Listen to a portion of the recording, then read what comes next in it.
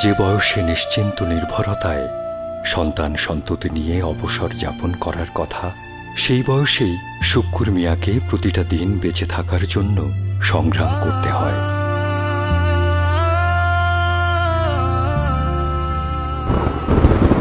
রোদ বৃষ্টিতে ভিজে হাড় ভাঙা পরিশ্রমে ঝাপসা হয়ে আসে ঘোলাটে চোখ।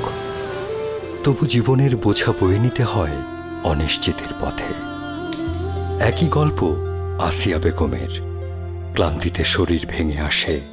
স্বপ্নহীনতার প্রহরগুলোই এক এক করে গুনতে থাকে অসহায়ত্বের দিনগুলো। আমার ঘর ছিল না একটা ঘরে থাকি পানি পড়ে বৃষ্টির কোনো সময় ভিজে যায় অনেক কষ্ট করেছি।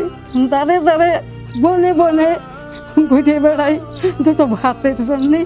যে হাসি আনন্দ আর আশা নিয়ে দুজনের পথ চলা শুরু হয়েছিল একসাথে। আজ সেই আশার বসতি এক হতাশার কারাগার।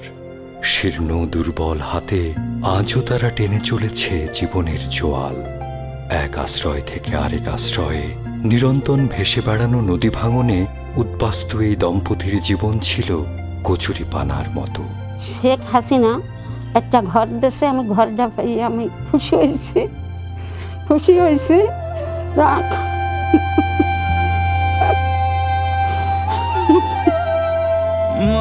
তুলে বাঁচতে শিখিয়ে ঘরহীনকে দিলে ঠাই।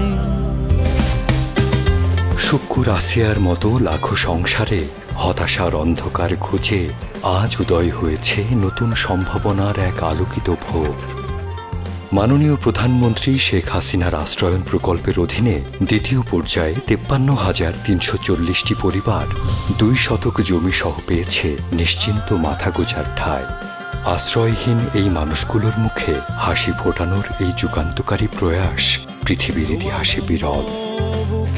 ভেতর